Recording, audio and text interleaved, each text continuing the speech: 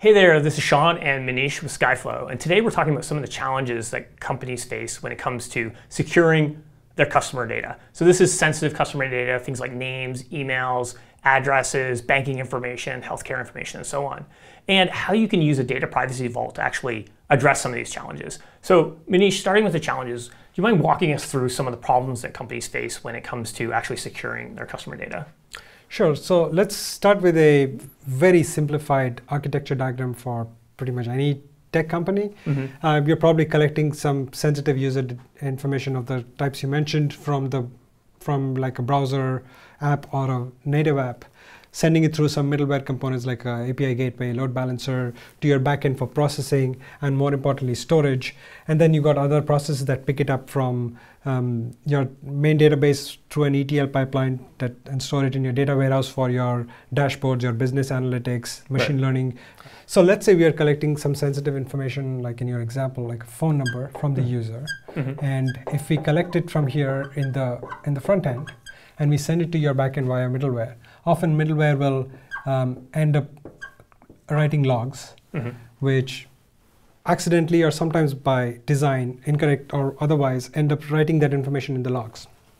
Um, now the information goes to your backend, which has to process them. So it's in memory, it's in probably temporary storage somewhere, also in logs that your backend generates. Um, but of course, by design, it has to store it in your database. So now your database has this phone number.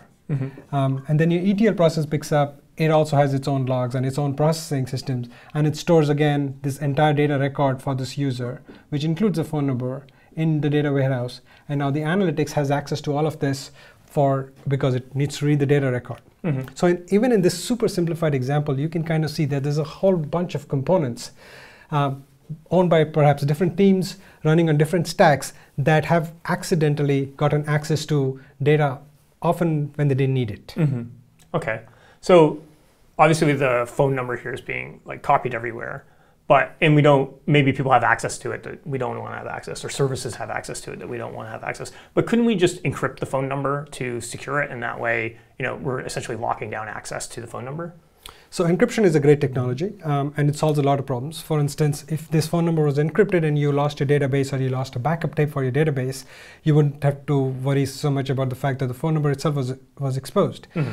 However, encryption does have some problems. Like for one, depending on the compliance problems you're trying to reach, uh, encryption may not be sufficient to meet your compliance requirements. With encryption, like with any tool, when you use it, you have to make sure you're doing it right. So you mm-hmm. use the right encryption algorithm, the right chaining modes, and things like that um, and you rotate your keys appropriately. But even then, there are problems that you want, need to solve beyond just simple data protection that encryption doesn't solve or sometimes makes a little bit harder. For instance, imagine you have you have a key that you're using to encrypt all phone numbers, mm-hmm. and you have not just one phone number, obviously, because you're hoping to get more than one customer. You have 10. Mm-hmm. Now, if this particular phone number needs to be deleted because of a request made by the user, now you can't quite go delete the key because that would shred your other nine phone numbers as well. Mm-hmm. So in this case, you would have to still solve the problem of tracing this where all this data lives, encrypted or not, and delete it. Mm-hmm. Okay. So all right, I get it. So like encryption essentially it secures the information but doesn't necessarily solve some of the like larger issues about like deleting the information exactly. and, and other challenges. So how do you how do you actually solve that problem then? So the way we recommend people think about this is that you have various classes of data. Like for instance, in this phone number example, you're probably using the phone number to contact the user, and you've got information like how often did the user read the message. Mm-hmm. After they read the message, how likely were they to come back and interact with your with your site. Most of the data is is fine from a regulatory compliance, privacy, security perspective. Mm-hmm. You obviously don't want to lose any of it, but it does not have the same regulatory and security risk that having the phone number itself does. Phone number and other such information obviously is special. And we believe that belongs in a data privacy vault, not spread all over your, your architecture. Mm-hmm. So to follow that through, as an example, um, you would basically take the phone number and instead of passing it on everywhere, you would store the phone number in your vault itself. So the vault would have the phone number and what the vault would do for you is the vault would return a pointer, in this case, let's say a token, um, to you that would stand in for the phone number because the vault does the translation between token and phone number and vice versa. Mhm. And you would take the token, not the original phone number, and pass it through your systems. So what your logs, the worst case your logs can expose is the token, not the actual phone number. Mhm. What you would store in your database is not the phone number, but just the, the token. Um, and since that's all you have, you would, that is exactly all you would have proliferating through your system, the token, not the phone number. Mhm. So in this point in time, encryption is kind of um, good to have, but not a must-have. I see. Okay, so essentially what we're doing here is we're moving the phone number and presumably other customer data into sort of the single source of truth of the data privacy vault. And then Exactly. returning tokenized versions of that data and then storing the tokenized versions through our existing infrastructure and then always referring to those those tokens. Exactly. But how do we actually address the issue of like access? Um, you know, presumably not all these systems need to be able to detokenize the data, but some of them probably do. So how do we control access to the systems that can tokenize and detokenize the data and actually ac- access the plaintext values? That's a great question. So uh, I think the first observation we need to make here is that for a lot of accesses, you don't actually need to access the data element in question. So for Mhm. instance, if um, going back to our previous example, if what you wanted to answer was what is the efficacy rate of a particular campaign? In other Mhm. words, how often after receiving a message does a user go transact with the website? Mhm. You don't really need to know the phone number at all. That's an analysis you can probably do with the data that you have in your systems already Mhm. to take that a little bit further, maybe you want to break that down by how do people in different area codes react to my uh, my messaging? Is there a, a difference in behavior? In that case, the observation is that even when you do need access to the phone number, you don't need access to the entire phone number. A phone number is a structure with multiple sub-elements. In this case, a vault that understands that a phone number is not just any bunch of bytes, it is a phone number and has these different components to it, can give you the ability to configure access for your analytics system to only the area code and nothing else. Mhm. So you would configure your analytics system with the right access so it can extract the area code. So you would configure your analytics systems with the right permissions to access only the area code so it can continue to perform its analytics as before. Mhm. I see. So in that case, essentially, like rather than the analytics having being able to detokenize the full phone number and have access to the full plain text value, they would only be able to access, say, the area code and then perform analytics on the area code or the grouping of the customers Exactly. that have that area code. Okay. So we talked a lot about some of the challenges that businesses face when it comes down to securing customer data. So let's take an actual like real life use case. So let's say that I want to use marketing automation to send a text message to some subset of my customers to send them a marketing message and through a service like Twilio. Under normal circumstances, you would have some part of your application infrastructure passing the plain text value of the phone number over to Twilio. So presumably Twilio still needs to be able to access the plain text value. So how can you use this infrastructure in a way that can still send a text message through a service like Twilio without actually exposing any of your application application infrastructure to the plain text value of the phone number? So that's a great use case. To to kind of draw out what, what you effectively said Mhm. is you have let's say a CRM process um, that that picks up um, your your data Yeah.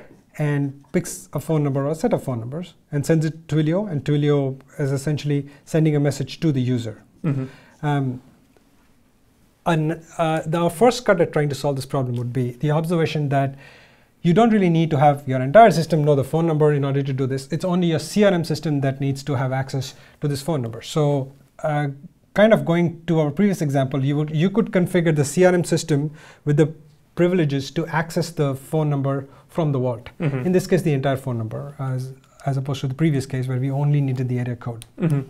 Um, and that solves the problem because the CRM system only needs to change to make a call to the vault first to get the phone number um, detokenized and then proceed with its normal flow. Mhm.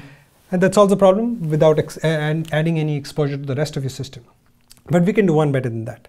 If we make the observation that the CRM system doesn't actually need to have access to the phone number, it just needs to be able to use the phone number in order to send the message, we can build a, a mu- much better system. Mhm. The way we do that is we give the CRM the permission to tell the vault to take the, the phone number token that we mm-hmm. have, to detokenize it, and call the Twilio system on its behalf with the actual phone number, mm-hmm.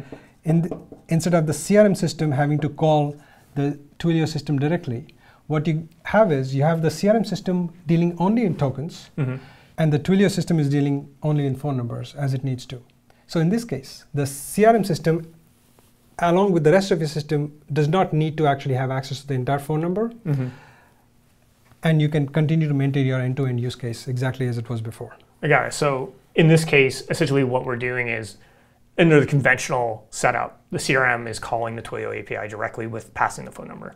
And what the change we're making is that instead the CRM is going to call like a Vault API using the tokenized data. Then the Vault is going to call Twilio's APIs, passing the actual real data, in this case, the phone number. Exactly. Okay. So let's take another uh, situation. So we've talked a lot about using the data actually that's in the vault, but what about collection? So in a normal web application, a lot of the times we're going to be collecting account data. So this could be someone's name, email address, phone number, maybe their home address. And normally, you know, I would create a, a web application that is secured through, you know, HTTPS. So it's encrypted the information during transit, and I'm going to pass that through probably my API gateway to my backend, and then end up with the data in my database. And through everything that we talked about today, obviously we don't want to do that in terms of uh, the security issues with actually protecting that data. So I want to get the information in the vault, but how do I get that information in the vault without actually exposing the data into my backend? So what we did here was we we moved the access of the actual information mm-hmm. as late as we could in the in the data lifecycle. So instead of giving the, the data warehouse or even the CRM system access to the real phone number, we moved it out as much as possible till the last step where you actually do need a phone number. Mm-hmm. So the principle here is that you want data to be detokenized as late as possible. When you reverse that, what you want is you want the data to be tokenized as early as possible. So continuing with your example, if I'm collecting the data here, mm-hmm. I want to tokenize maybe not here, better to tokenize here, or even better if I can tokenize right here. So for instance, instead of your front-end application having the responsibility to collect the sensitive information, and we have to remember that even front-end applications are fairly complex beasts. They have integration with logging tools, monitoring, observability tools. So there is a fairly complex ecosystem here that is ex- being exposed to sensitive information. Instead of that, if you could basically ask your vault on your behalf, on your instructions and your styling and, and your UI assets to collect the phone number, translate it to the token right up here. So your front end application and therefore all the rest of your thing deals only in tokens. That's kind of the best of all possible worlds. Now, I know that's not always possible. Some cases you may be getting the sensitive data not from your front end application, but from a different application via an API or some such thing, or you're collecting it from a third party. So things vary, um, and different architectural constraints may lead to different choices. So you could have a API gateway that intercepts calls coming in from other third parties and use that to, to tokenize the information at, at collection point. or maybe your backend once it gets the data collects it. So different architectural choices uh, are possible, but in all cases, if you stick with the principle of tokenizing as early as possible, you get the most secure system. Right. Okay. So essentially, with this whole infrastructure, the approach that we're taking is we're is isolating and protecting the data, uh, at least the sensitive data, inside the data privacy vault, and then we're tokenizing as early as possible and detokenizing as late as possible. Exactly. Got it. All right. Well, thank you so much, uh, Manish, for uh, talking about some of the challenges that companies face when it comes to securing customer data and how to use a data privacy vault to actually address those challenges. If you want to learn more about data privacy vaults and Skyflow, you can check us out at skyflow.com. And thank you very much for watching. And remember, move fast, but don't break privacy.